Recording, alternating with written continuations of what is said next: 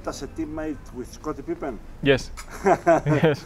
Could you please describe these uh, two games, maybe the first meeting with him? Uh, the, the the story was like I was in national team tournament when I heard that Scottie Pippen is coming, and uh, I I missed the first game when he played with the Topo, Topo. the the Helsinki team, and uh, I was so mad. I was I have to go back, and uh, I wanted to be there so bad, and I missed the first game Mhm. Because I was there playing, and I tell coach like I have to go straight away when we have the last game with national team. I have straight away travel to the Finland because I'm gonna play with Scottie Pippen.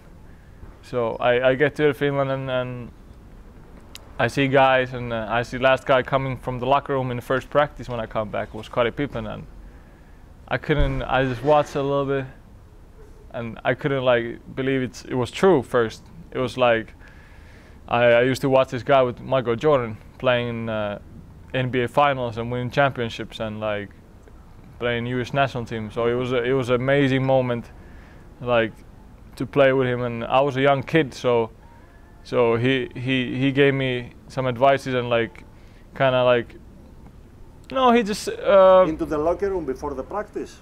yeah, you know, all every day in pra- like in practice, he just gave me tips like what what in this situation what you can do better, what you can read here.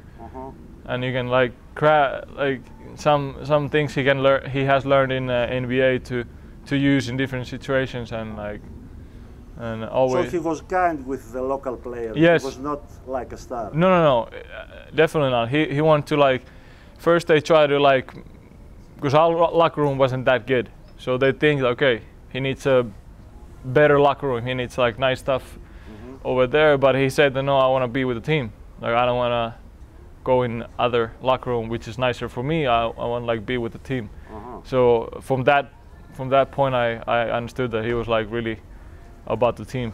How these two games of Scottie Pippen uh, influenced the basketball in Finland? I think it was a huge influence. There was a lot of people. Uh, was, it a lot in media, you know, and, and for sure in Helsinki, it was a big thing because like there's two big hockey teams. Uh, the biggest football team in uh, in Finland is in Helsinki, HJK. Uh-huh. So there was a th- this was a big thing that a superstar like Scottie Pippen is coming to Finland and Mhm. play two games. So like people were reading, people were talking.